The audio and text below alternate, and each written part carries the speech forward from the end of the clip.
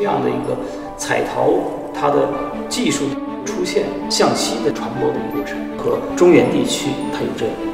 文化的联系。在中原地区，彩陶的发展可以追溯到新石器时代的仰韶文化和马家窑文化。随着丝绸之路的开通，中原的彩陶文化逐渐向西传播，与西域的文化相融合。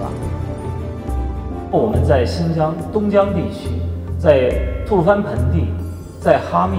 在昌吉，在乌鲁木齐，发现了很多距今四千到三千，乃至于到两千。五六百年战国中晚期的一些墓葬里，出土了数量比较多、类型比较丰富、色泽比较鲜艳的一些彩陶器物。那么这样的一些彩陶器物，有彩陶罐儿，有彩陶杯，还有一些彩陶盆儿。如果我们对于这样的一些彩陶，它的历史背景的一个分析，我们就可以可知，在四千到距今两千年左右的这个时间里。黄河中上游地区的新石器时代乃至于青铜时代的文化遗存，影响到了新疆，彩陶便就是一个重要的一个物证。